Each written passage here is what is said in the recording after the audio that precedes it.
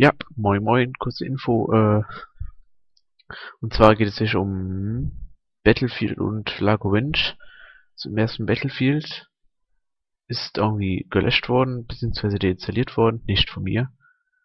Und, äh, Moment mal ganz kurz. Okay, ich wollte was ausprobieren. Äh, und, ja, muss ich mir jetzt überlegen, ob ich das jetzt nochmal neu spielen soll, irgendwie zum dritten oder vierten Mal. Aber das ist auch langweilig für mich und dann auch für euch, wenn ich das alles schon kenne.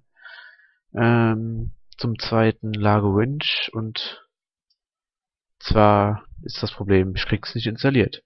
Weil es war wohl irgendwie schon mal installiert.